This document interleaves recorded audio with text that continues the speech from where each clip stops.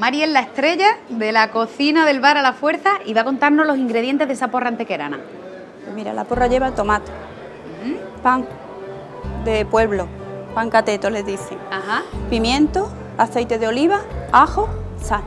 Vale, y todo eso tenemos que ir echándolo donde? Echándolo lo En una batidora se tienen en una casa. batidora ¿no? o en una, la Thermomix. Vamos a ir echándolo.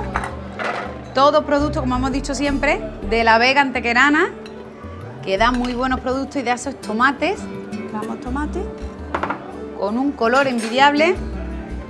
Aquí no se puede preguntar por cantidades de ingredientes. No. Aquí hay que echarle el ojo. Si ven que está muy clarita, un poquito más de pan. Y si está muy espesa, un poquito más de tomate. Esa es la clave, ¿no? Un trocito de pimiento, un ajito sería suficiente y un poquito de sal. Tan solo con un ajito ya tiene sabor ese Para tan picantón. Para una poquita así. Y el aceite de oliva. Ya estarían todos los ingredientes. Y comenzamos a batir. Comenzamos a batir primero lentamente hasta que vayan mezclando. Primero de forma suave.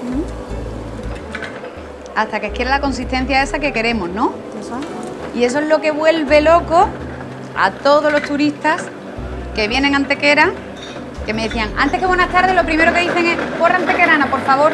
Ahora sí, parece que ya está lista nuestra tapita de porra antequerana.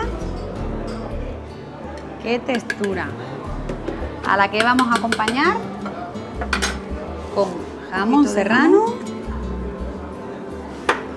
un poquito de atún.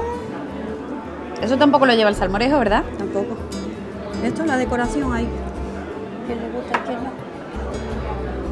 Y poquito de huevo. el huevito duro, Quizás también hay quien gusta de ponerle un trocito de tomate. para que no nos falte de nada. Y ya le puedes poner, si quieres, si gusta, un poquito de aceite de oliva. Yo gusto, yo gusto.